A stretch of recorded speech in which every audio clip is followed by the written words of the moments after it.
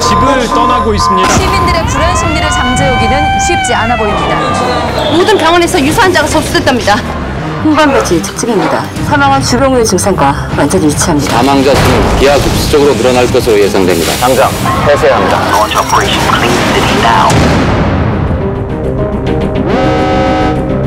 and will be segregated at the camp.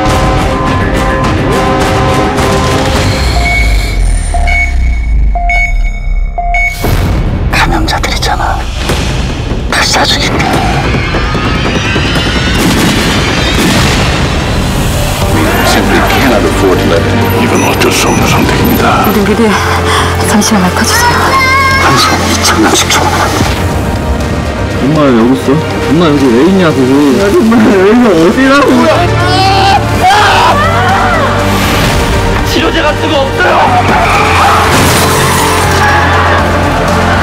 같이 살려고 그러는 거야. 당신 혼자만 살려고 하는 거잖아 애식은 엄마한테 데려다 줄게 저는 지금 꼭 안으로 들어가야 됩니다.